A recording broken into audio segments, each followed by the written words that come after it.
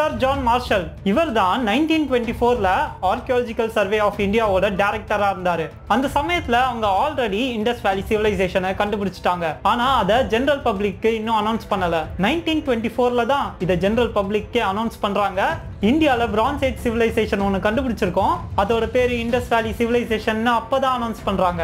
இந்த இண்டஸ் வேலியில இருக்கிறதுலே ரொம்ப பெரிய பழங்கால மனிதர்களோட செட்டில்மெண்ட் எதுனா ஹரப்பா தான் இதை எப்போ பில் பண்ணாங்கன்னா டூ தௌசண்ட் ஃபோர் ஹண்ட்ரட் பிசியில் இதுதான் இண்டஸ் வேலியோட மிகப்பெரிய செட்டில்மெண்ட்டாக கருதுனாங்க. ஏன்னா இதோட ஏரியா மட்டும் அப்ராக்சிமேட்டா ஹண்ட்ரட் ஹெக்டர் இந்த இடத்தோட பாப்புலேஷன் ஐம்பதாயிரத்துக்கும் மேலே இருந்திருக்கணும்னு கருதுறாங்க. இந்த பகுதியில் அடிக்கடி வெள்ளம் வந்திருக்கு. அதை எதை வச்சு கண்டுபிடிக்கிறாங்கன்னா அந்த நகரமே எப்படி கட் கட்டமைக்கப்பட்டு இருக்குன்னா அங்க இருக்க பில்டிங்ஸ் எல்லாம் கிரவுண்ட் லெவல்ல இருந்து உயரமா கட்டியிருக்காங்க. சரி நம்மளோட முக்கியமான கேள்விக்கு வரும் ஆரியர்கள் நிஜமாவே இண்டஸ் வேலி சிவிலைசேஷனோட பூர்வ குடிகளா? அதற்கான தரவு லிங்குவிஸ்டிக் ஸ்டடிஸ் மூலமா கிடைக்குதான்னு பார்ப்போம். லிங்குவிஸ்டிக் ஸ்டடிஸ் அதாவது மொழியியல். ஒரு மொழி அல்லது மொழி குடும்பத்தை அறிவியல் ரீதியா ஆராயிறது தான் லிங்குவிஸ்டிக் ஸ்டடிஸ் இந்த லிங்குவிஸ்டிக் ஸ்டடிஸ்ல நாம முதல்ல சூஸ் பண்ண போற டெக்ஸ்ட் எது சம்பந்தமானதுன்னா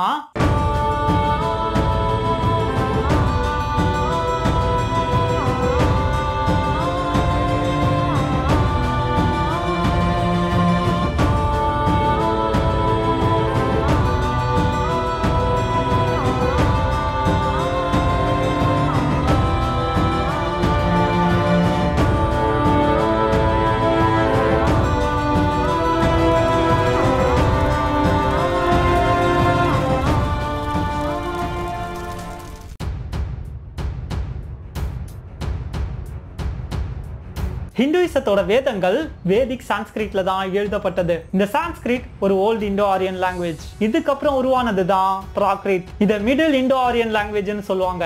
இந்த மொழி குடும்பத்தை சேர்ந்தது தான் ஹிந்தி பஞ்சாபி பெங்காலி மராத்தி எல்லாம். டாரியஸ் த கிரேட் இந்த அரசனை பத்தி போன எபிசோட்ல பார்த்திருப்போம். இந்த அரசனோட கல்வெட்டுக்கள் எல்லாமே ஓல்டு ஈரானியன் லாங்குவேஜை சேர்ந்தது. இந்த ஓல்டு ஈரானியன் லாங்குவேஜுக்கும் ஆரியன் லாங்குவேஜுக்கும் நிறைய ஒற்றுமைகள் இருக்கு.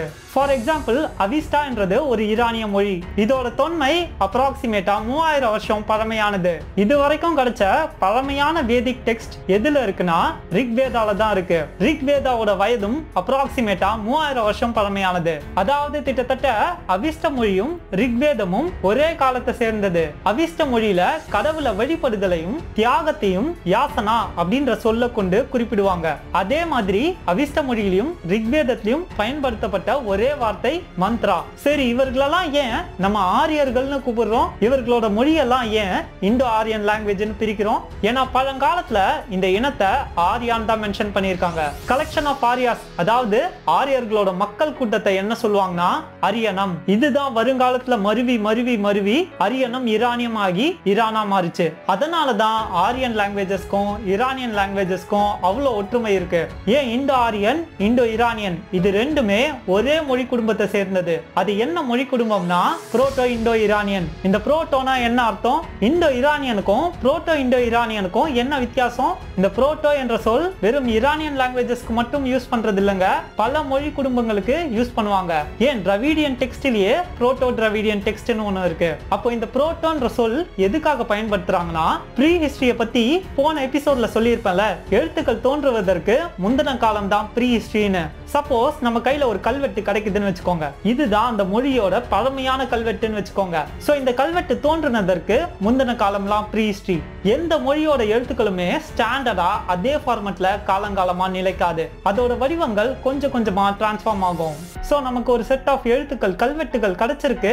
ஆனா அந்த கல்வெட்டுல என்ன எழுதியிருக்காங்க அப்படின்றதே நம்மளால அண்டர்ஸ்டாண்ட் பண்ணிக்க முடியலனா அதை புரோட்டோன் மென்ஷன் பண்ணுவோம். சோ புரோட்டோ ஈரானியன் லாங்குவேஜஸ் தான் என்ன அர்த்தம்னா அந்த ஈரானிய மொழியோட கல்வெட்டுகள் நமக்கு கிடைச்சிருக்கு. ஆனா அதோட அர்த்தம் நமக்கு புரியலன்னு அர்த்தம். அந்த எழுத்துக்கள் இருந்த காலகட்டத்தை அதே புரோட்டோ வச்சு தான் குறிப்பிடுவாங்க. For example proto Iranian era so இந்த மாதிரி ஒரு மொழி தான் எப்போ வரலாறு தொடங்கணும் அப்படின்றதே தீர்மானம் செய்யுது.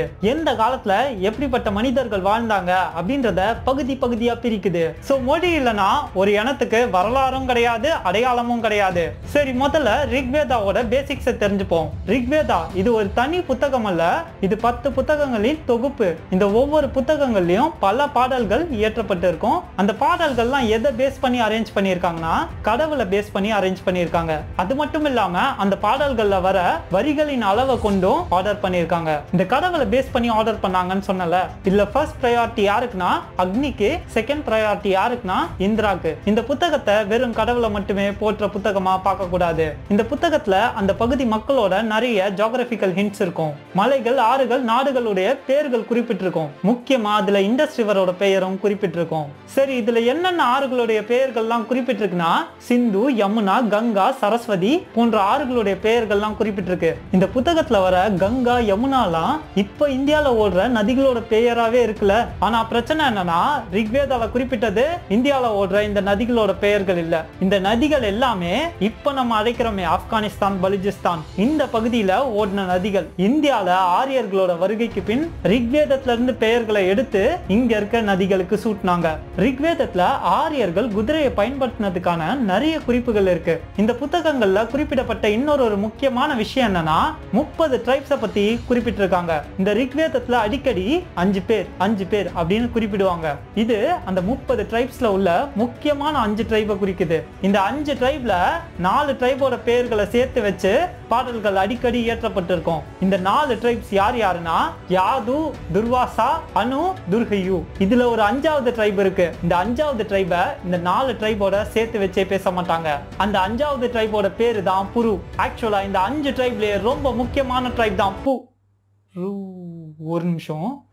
ஆக்சுவலாக நம்ம பேச வேண்டிய விஷயம் என்ன? ஆரிய வருகை உண்மையா பொய்யான்ட்டு. நம்ம ஜஸ்ட் டேட்டா தான் சொல்லிட்டே இருக்குமே தவிர அதற்கான டீட்டெயில்ஸ் எதுனா இது வரைக்கும் கிடைச்சிருக்கா? நம்பர் ஒன் ஆரியர்கள் குதிரைகளை டொமஸ்டிகேட் பண்ணியிருக்காங்க. அதாவது வைல்ட் ஹார்சஸ அவங்களோட பயன்பாட்டுக்காக வளர்க்க ஆரம்பிச்சிருக்காங்க. ஆனா இண்டஸ் வேலி சிவிலைசேஷன்ல குதிரை வளர்ப்புக்கு சம்பந்தமான எந்த ஒரு அறிகுறியுமே கிடைக்கல. இந்த புத்தகங்கள்ல அஞ்சு ட்ரைப்ஸ பத்தி குறிப்பிட்டதா சொன்னாங்கல்ல.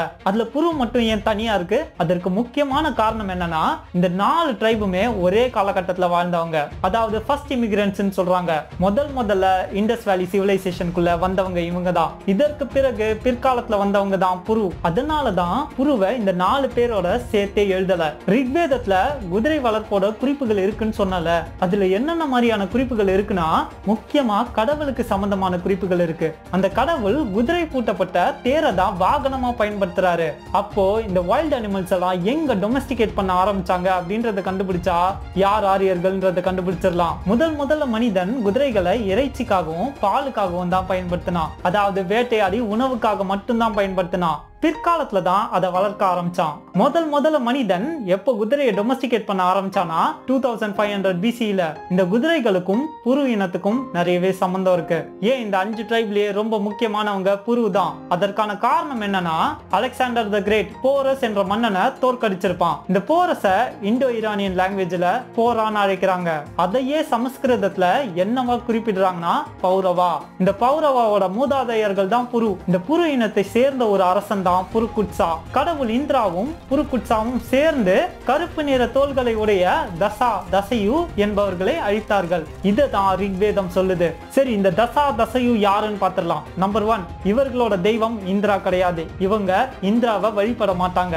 இவர்கள் கருப்பு நிற தோள்களை உடையவர்கள் கால்நடைய அதிகமா வளர்ப்பவர்கள். இவங்களை எப்படி அழிச்சாங்கன்னா இந்திரா மற்றும் அக்னி போன்ற கடவுள்களோட உதவி கொண்டு தான் இவங்களை அழிச்சாங்களே. அதனால தான் ரிக்வேதா பாடல்களோட சார்ட்டிங் ஆர்டர்ல டாப் ப்ரையாரிட்டி அக்னிக்கும் இந்திராவுக்கும் தான். அதுல அக்னி தான் நம்பர் ஒன் ப்ரையாரிட்டி இந்த தசா இனத்தை சேர்ந்தவங்களை சாம்பரா என்றும் குறிப்பிடுவார்கள். இந்த சாம்பரா இனத்திற்கும் ஆரியர்களுக்கும் நடந்த போற மிக தெளிவா ரிக்வேதாவோட ஆறாம் புத்தகத்துல விவரிச்சிருப்பாங்க. அவங்களோட ஜியாகிரபிக்கல் லொகேஷன் கூட குறிப்பிட்டிருப்பாங்க. அவங்க எந்த மாதிரியான பகுதியில வாழ்ந்தாங்க எந்த மாதிரியான மலைத்தொடர் அவங்க பகுதியில இருந்தது அந்த மாதிரி கிளியர் டீடைல் கொடுத்திருப்பாங்க. அவங்க மென்ஷன் பண்ண ஜாகிரபிக்கல் லொகேஷன் எதோட மேட்ச் ஆகுதுன்னா ஹிந்து குஷ் மலைத்தொடரோட மேட்ச் ஆகுது. சரி இந்த தசான ஒரு இனத்தை குறிப்பிட்டோம்ல கருப்பா. அது ஒரு சமஸ்கிருத சொல். இதோட சமஸ்கிருத அர்த்தம் என்னன்னா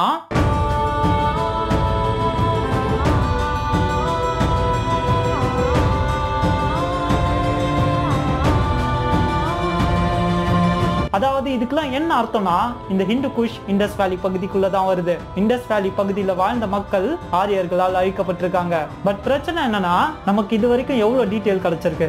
ஆரியர்கள் இண்டஸ் வேலி பகுதியில உள்ள ஒரு இனத்தை அழிச்சிருக்காங்க. ஆனா இன்னும் நிறைய கேள்விகளுக்கு பதில் இன்னும் நமக்கு தெரிய வேண்டியது இருக்கு. யார் தான் ஆரியர்கள்? எங்க இருந்து தான் ஆரியர்கள் வந்தாங்க? இல்ல ஒருவேளை அவங்க இண்டஸ் வேலி பகுதியை சேர்ந்த மக்கள் தானா? அப்படி அவங்க இண்டஸ் வேலி சேர்ந்த மக்கள் இல்லைன்னா இண்டஸ் வேலியில யார் தான் வாழ்ந்தா?